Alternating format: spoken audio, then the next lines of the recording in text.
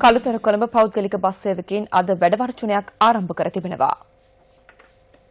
මොවුන් මෙලෙස වර්ජනය නිරත වන්නේ පෞද්ගලික බස් රථ රියදුරකට සිදු කළ පිහි ඇනුම් සිද්ධියක් මුල් කර ගනිමින් බස් රථ 275ක් පමණ ධාවනයෙන් ඉවත් වී සිටින බව අප වාර්තාකරු පැවසුවා. බස් රථ සේවකයන් ඉල්ලා සිටින්නේ පිහි ඇනුම සිදු කළ පුද්ගලයාව අත්අඩංගුවට ගන්නා ලෙසයි. මේ වන විට පෞද්ගලික බස් රථ රියදුරා කළුතර නාගොඩ මූලික රෝහලේ දැඩි සත්කාර ඒකකයේ ප්‍රතිකාර ලබමින් සිටිනවා.